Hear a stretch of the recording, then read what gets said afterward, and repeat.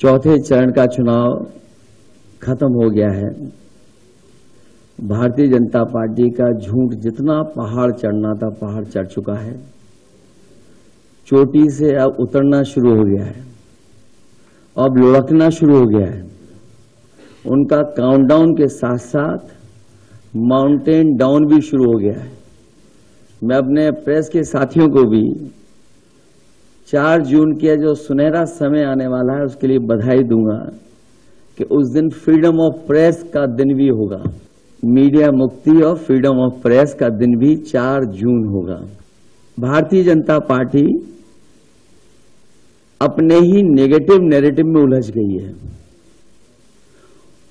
और जब हम पीछे मुड़ करके देखते हैं, दस साल दिल्ली की सरकार और लगभग सात साल उत्तर प्रदेश की सरकार में हर बात उनकी झूठी निकली, वादे उनके झूठे निकले, और हाल में जो हम लोगों ने उनका चुनाव देखा है,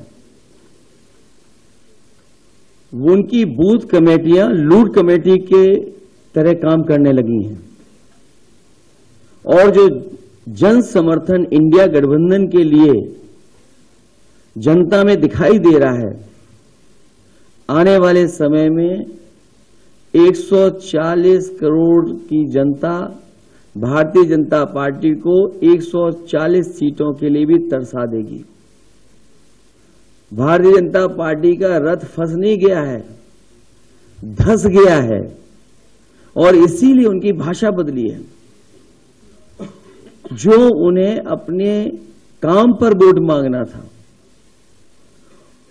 वो अपनी भाषणों में भाषा बदल दिए हैं। इसलिए नकारात्मक राजनीति का समय खत्म हो गया है। लोग और देश की जनता बदलाव चाहती है। वो बदलाव चार जून को आने वाला है। इंडिया गठबंधन की सरकार बनेगी।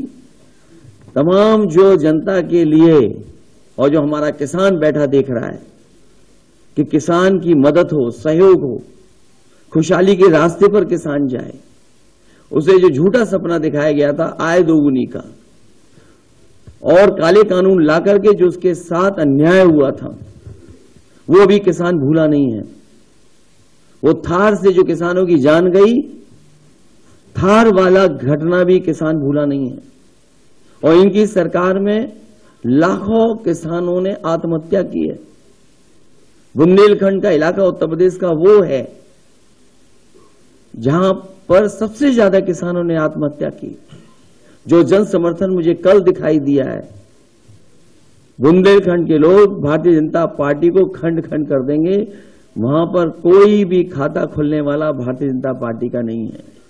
और मैंने कई बार कहा फिर कहता हूँ प्रेस के सामने, इंडिया गठबंधन, उत्तर प्रदेश में 79 सीटें जीत रहा है और क्यूटो में लड़ाई में है।